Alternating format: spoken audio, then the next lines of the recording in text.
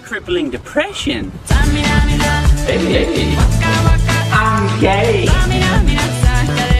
What a lovely day!